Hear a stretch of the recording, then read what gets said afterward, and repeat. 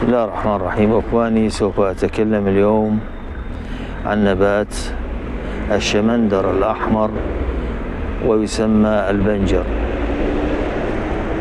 هذا النبات الحقيقة منجم من الفوائد سواء في الأوراق أو في الثمرة ولكن المتداول هو الثمار وطعمها لذيذ جدا.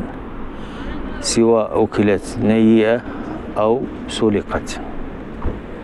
ولاحظوا يا أخوان عندما تسلق هذه الثمرة فهي تصبغ اليد وأي مكان في الجسم تصبغه مجرد الوصول إليه. فتتبعت هذا اللون في البحوث فوجدت أن هذه الثمرة تكاد تكون متخصصة في علاج أمراض الدم. وطالما أنها تعالج أمراض الدم فهي تعالج أغلب مشاكل الجسم لأن الدم يعبر في كل مناطق الجسم ومنها المراكز النبيلة القلب الدماغ. إذن هي تضخ للقلب فتساعد على تقوية عضلة القلب وتنظيم الضغط وجريان الدم وتساعد في تنمية الدماغ. أقصد هنا مراكز الدماغ سواء السمعية أو البصرية أو غيرها فهي تنشط مراكز الدماغ كافة. تدخل في تنشيط الكبد فتعمل على خفض السكر وحرق الدهون في الكبد. صحيح أن هذه الثمرة حلوة ولكن عندما تنشط الكبد تحرق السكريات. ودعوني يا أخوان هنا أن أضع بعض الخلطات من هذه الثمرة للفائدة لمريض سرطان الدم. نقوم بخلط البنجر مع اللفت مع الجزر الأسود مع الزبيب الأسود مع التفاح.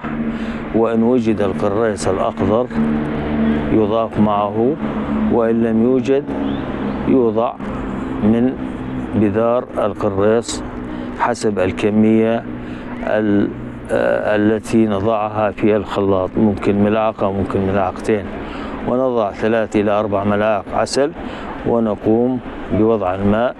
ثم نضربهم بالخلاط ويشرب مريض سرطان الدم كوب قبل الفطار بساعة وكوب قبل العشاء بساعة لمدة شهرين. بإذن الله تعالى سوف ينقى دمه تماما من كل الخلايا الدخيلة أو الخلايا التي خرجت عن مسارها. آه طبعا هناك يعني لابد من إدخال بعض المواد الأخرى لكن هذا أساس العلاج لسرطان الدم. في مسألة فقر الدم نفس الخلطة يا أخوان أيضا تعطى بس بدون بذار القريص وممكن تقليل العسل نفس الخلطة لمن معه فقر دم بإذن الله. وحتى يعني الزمن أقل يعني 15 يوم يذهب فقر الدم منه إن شاء الله تعالى. لنضارة البشرة وتصفية البشرة تماما من التجاعيد والنمش والكلف وجعلها وردية تماما نفس الخلطة لمدة شهر. أيضا الجرعة كوب أو كوبين باليوم بإذن الله تعالى سوف ينظف الدم تماما ويتغير لون البشرة وتزال كل المشاكل التي ذكرتها من تجاعيد و تحت العيون السواد اللي تحت العيون وغيرها من مشاكل البشرة أيضا المرأة الحامل أنصحها أن تأخذ باليوم حبة تأكلها فهي تزيل عنها فقر الدم لأنه في الغالب النساء الحوامل آه، يصيبهن فقر دم. فهي إن حافظت على أكل الثمرة بشكل يومي بإذن الله تعالى لن يصيبها فقر دم وسيساعد الأطفال آه، ويساعد الجنين كثيرا آه، على أن يعيش بصحة جيدة.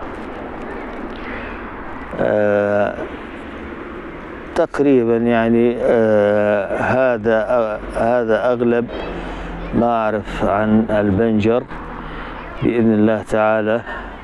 سيستفيد الكثير منه وخاصة أن هذا الفصل هو فصل الشمندر واللفت وهذه المواد.